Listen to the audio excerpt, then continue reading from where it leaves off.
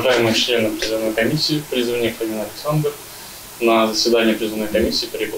Будущему срочнику Александру Фомину 25. С 2014 года живет на территории Одинцовского округа. Получил повестку только сейчас, ввиду сложных жизненных обстоятельств. Уверен, его профессия в армии пригодится. Я по профессии автомеханик, э, отучился на, собственно, автомеханика, да, сейчас э, закончил э, обучение в автошколе ДСАФ, вот, от военкомата, получил категорию С, военную специальность водителя.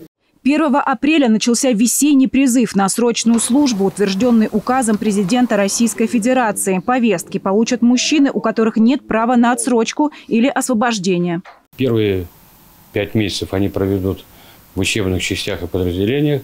После окончания обучения в учебных частях, где они получат навыки военной службы, э, получат индивидуальную подготовку боевую, они будут э, в дальнейшем служить в те части, которые будут предназначены.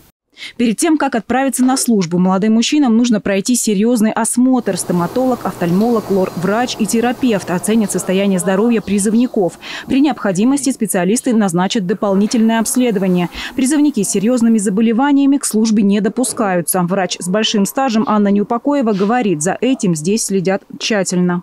Ребят не берут в армию с врожденными пороками сердца, бронхиальная астма, мусковицидозы, генетические заболевания. Есть в правилах призыва и нововведения. С этого года призывной возраст увеличен до 30 лет. Значит, те, кому в этом году исполнится 27, получат повестки. Срок службы остается прежним – 12 месяцев. Пойдут служить призывники наши во все виды и рода вооруженных сил.